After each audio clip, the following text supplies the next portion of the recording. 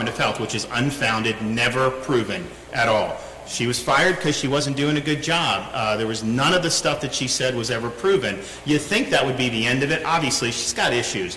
Um, on this situation, there was an intrusion of a very sensitive system. It's an emergency alert system. If somebody gets a hold of that, they can do a lot of damage. I mean, you could really frighten a lot of elderly people, other vulnerable populations.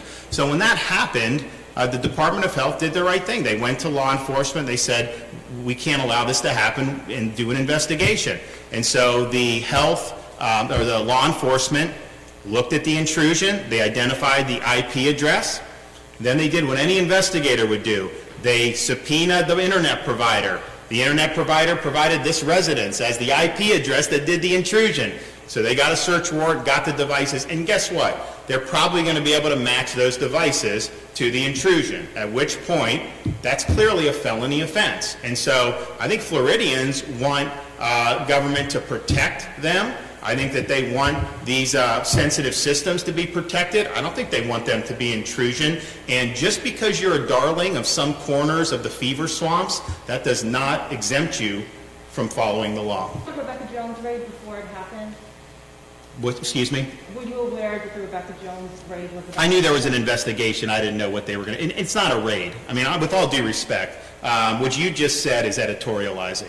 They, sir, excuse me, excuse me. No, excuse me. I'm not going to let you get away with it. These people did their jobs. They've been smeared as the Gestapo for doing their jobs. They did a search warrant. Why did they do a search warrant on the house? Because her IP address was linked to the felony. What were they supposed to do? Just ignore it? Of course not.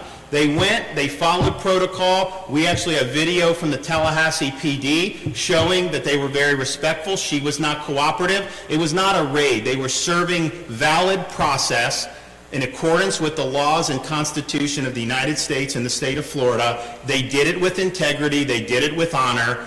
And to say it's a raid uh, is, is disinformation.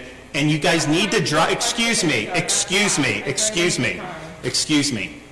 You guys need to look at facts and stop trying to feed narratives. I understand why you do it, but it's not supported by facts, and so you should be better than that. All right, thanks, everybody.